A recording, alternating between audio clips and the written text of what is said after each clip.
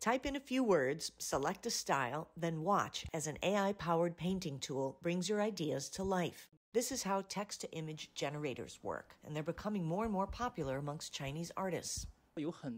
Many professional designers use AI painting to generate a large number of images and use them as inspiration for their own works.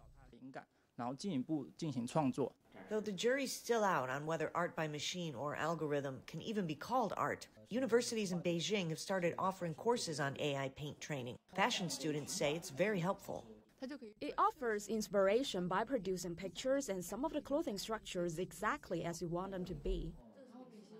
For now, tech companies like Google and Microsoft have launched their own AI art generators earlier this year. Whether they'll be commercially successful remains to be seen.